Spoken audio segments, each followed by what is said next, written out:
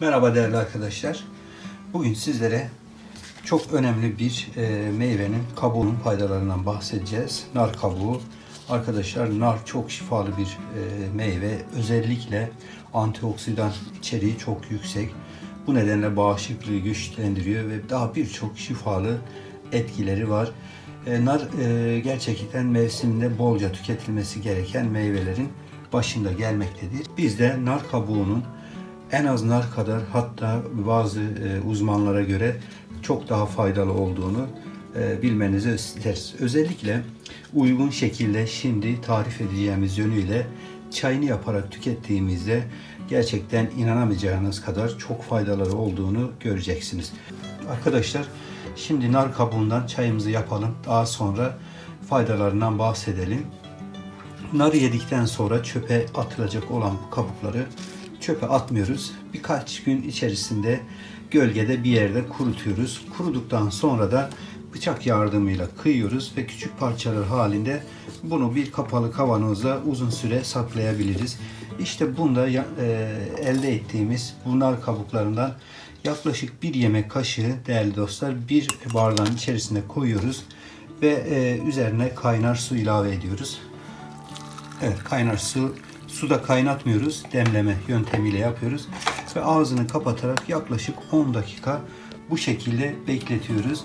Daha sonra e, nar çayımız hazır hale gelmiş olacak ve bunu tüketerek birçok şifalı e, etkiler elde edebiliriz. Arkadaşlar nar çayımız hazırlandıktan sonra günde bunu bir bardak içebiliriz. Özellikle sabah içildiğinde aç karınla e, bağırsaklarda oluşan tenyalar başta olmak üzere birçok zararlı etkileri e, yok eder ve bu da bağırsak e, sağlığını korur. Nar çayının diğer önemli bir faydası da içerisinde ellagik denen bir asit bulunuyor ki yağ asidi. Bu da kolesterolü düşürüyor, kan damarlarının sağlığını koruyor. Ayrıca kalp kaslarını güçlendiriyor ve kalp sağlığını koruyor. Bu yönde çok önemli. Yine ishal ve e, buna bağlı olarak mikrobiyal e, bağırsak rahatsızlıklarını da gidermede oldukça önemli. Yine nar çayı tüketilerek arkadaşlar kilo verebiliriz. Vücutta toksik maddeler başta olmak üzere birçok zararlı maddelerle e, yine vücutta birikmiş ödemi atmada çok etkili. Kilo vermekte de bunu diyet listelerimize alıp kullanabiliriz. Nar kabuğunun diğer bir önemli özelliği de düzenli olarak içildiğinde hemoroidi tedavi ettiği araştırmalarla tespit edilmiştir. Her şeyden önce arkadaşlar bu nar kabuğunun e, çok yüksek bir antioksidan kaynağı olduğunu biliyoruz. C vitamini yönünden çok fazla. Bu da bağışıklığı güçlendiriyor. Soğuk algınlığı, grip, nezle ve e, yine buna bağlı olarak e, öksürük, balgam gibi şikayetleri ortadan kaldırıyor.